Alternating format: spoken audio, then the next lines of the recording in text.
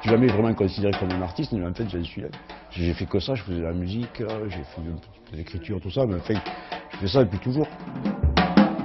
Chacune des toiles de Marc Durand est vendue aussitôt peinte. Son exposition à Metz, chez DZ Galerie, place de Chambre, est donc un événement. Ex-musicien de punk, compositeur d'un opéra et peintre depuis 2012, il met le chaos en lumière. Je déballe, je déballe tout ce que j'ai fait et mon art, je le pioche. De, de, de...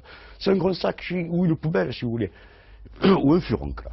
Je suis un furoncle qui, je ne vais pas dire que je suis une rose, hein. j'ai quand même un art assez avancé.